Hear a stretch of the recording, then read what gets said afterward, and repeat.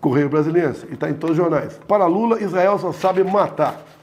Quer dizer para o seu Lula que Israel, enquanto eu fui presidente da República, um país que nos ajudou em muito naquele episódio em Brumadinho, com uma nova tecnologia que eles trouxeram para cá, ajudar a descobrir corpos que, que, no meu entender, dificilmente nós aqui brasileiros conseguiríamos é, encontrar.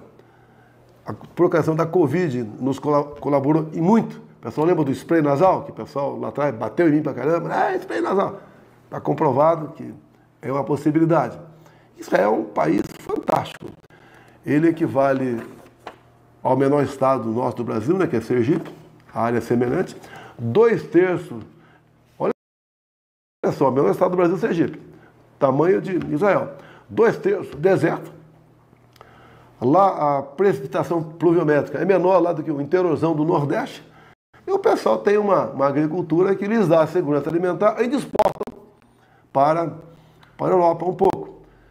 Eu acho que é um país realmente que, desculpe aqui, você pode não concordar, né? Mas eu acredito que só existe por milagre de Deus. A história assim mostra a história de Israel. E está aqui esse, esse descondenado, né?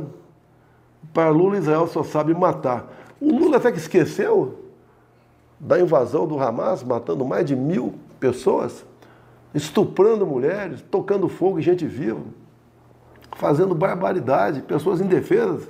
O pessoal do Hamas é, são esses machões todos para fazer essa barbaridade por aí.